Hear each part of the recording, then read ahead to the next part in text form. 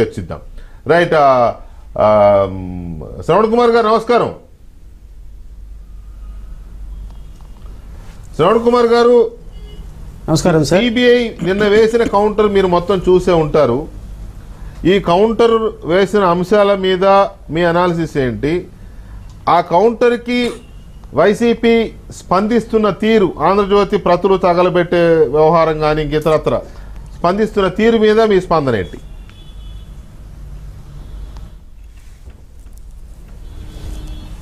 VK గారు గత అంటే లాస్ట్ వీక్లో వైఎస్ అవినాష్ రెడ్డిని సిబిఐ వాళ్ళు నోటీస్ ఇచ్చి పిలిచిన సందర్భంలో అసలు సిబిఐ దగ్గర ఉన్న సమాచారం ఏంటి? సిబిఐ ఏ విధంగా అవినాష్ రెడ్డి తప్పు చేశాడనో లేకపోతే నేరం చేశాడనో ఫిక్స్ చేస్తుంది అన్న అంశాల పట్ల ఎవరికి కూడా ఒక ఇన్ఫర్మేషన్ లేదు.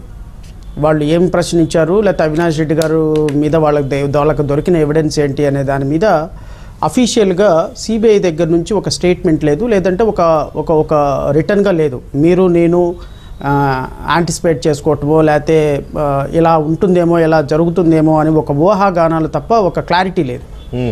At the same time Avinash Reddy గారిని పిలిచిన సందర్భంలో హత్య జరిగిన సందర్భంలో నుంచి అవినాష్ రెడ్డి గారి ఫోన్ నుంచి తాడేపల్లిలో ఉన్నటువంటి ఎవరైతే ముఖ్యమంత్రి గారి పిఏ కానీ లేకపోతే వైఎస్ భారతి గారి వారి పిఏకి కానీ ఫోన్లు వెళ్ళినాయి అన్న విషయం తర్వాత తెల్లవారి పేపర్లో వచ్చింది. దాన్ని కూడా సిబిఐ వాళ్ళు ఎవరు ఖండించలేదు. ఫోన్లు ఎందుకు వెళ్ళిందన్న విషయాల మీద పూర్తిగా సిబిఐ ఆయన ప్రశ్నించిందని ఏదో కొన్ని ఊహాగానమైనటువంటి కథనాలు వచ్చినాయి. అయితే ఈ రెండు అంశాలని కట్ చేసి చూస్తే నిన్న ఇంకొక నిందితుడు సునీల్ అనేటువంటి వ్యక్తి యొక్క బెయిల్ని వ్యతిరేకిస్తూ సిబిఐ వేసినటువంటి కౌంటర్లో విస్తుపోయేటువంటి నిదాలు అధికారికంగా బయటకు వచ్చినాయి అధికారికంగా బయటకు వచ్చింది అంటే సిబిఐ స్టాండ్ ఏంటి? అవినాష్ రెడ్డి మీద సిబిఐ ఏ విధమైనటువంటి అభియోగాలు మోపింది? ఏ విధంగా ఈ హత్యలో తనకు పాత్ర ఉంది? తన సూత్రధారులకు ఏ విధంగా తను హెల్ప్ చేశాడనే ఆ విషయాలు ఒక్కసారి కౌంటర్ ఫైల్ చేసి కోర్టులో ఫైల్ చేసిన తర్వాత అది పబ్లిక్ డాక్యుమెంట్ అవుతుంది.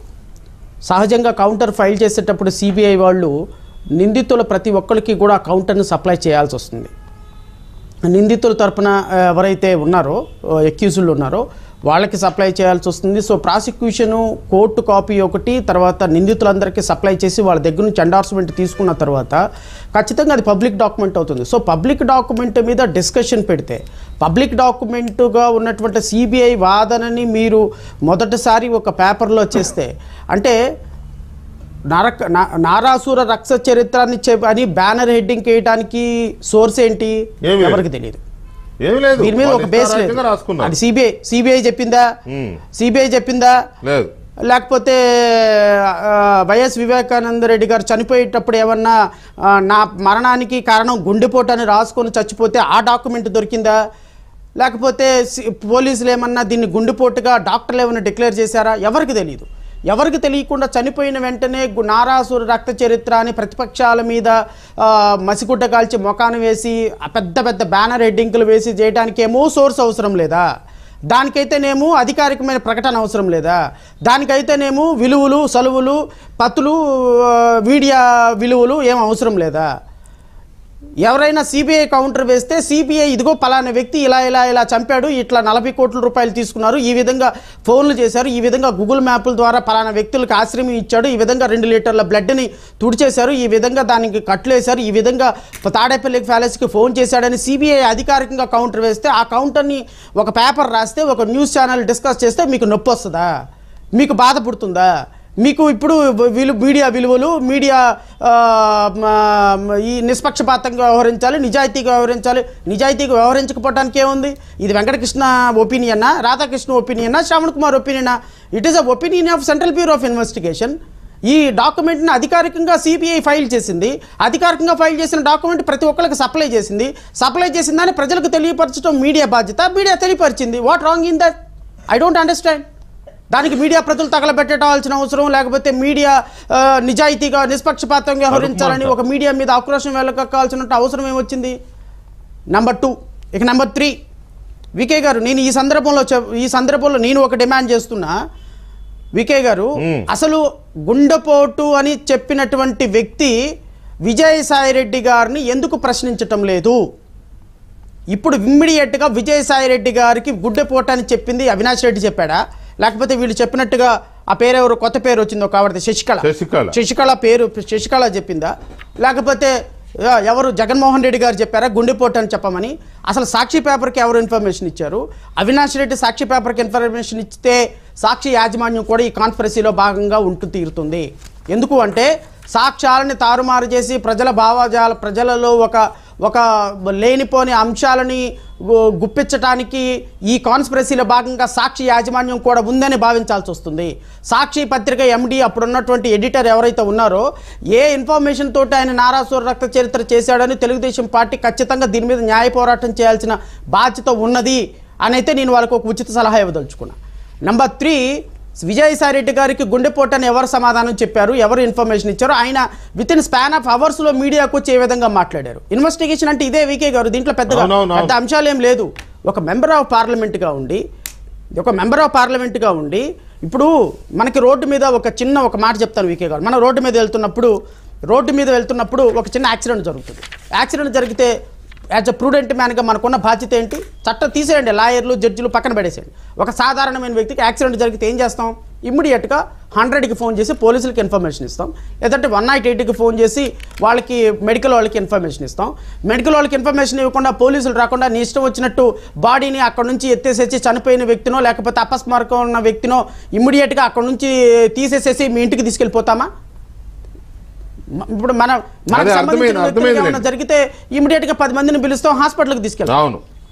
సో నేను థర్డ్ పార్టీని అక్కడ ఒక అవును. ప్రజాప్రతినిధిగా నేను ఉన్నప్పుడు ఒక మెంబర్ ఆఫ్ పార్లమెంట్గా ఒక వ్యక్తి ఉన్నప్పుడు ఆయనకి ఇమ్మీడియట్గా ఒక వ్యక్తిని చంపేశారు లేకపోతే వాళ్ళ బాబాయ్ చనిపోయినటువంటి వ్యక్తి జరిగినప్పుడు సీన్ ఆఫ్ అఫెన్స్లో కనీసం కాలు కూడా ఒక చెయ్యి కూడా పెట్టడానికి అవకాశం ఉండదు. అది మెంబర్ ఆఫ్ పార్లమెంట్కి తెలీదా? నువ్వు ఎవడయ్యా blood తోడమనింది according to the charge sheet చెప్తున్నాను నేను.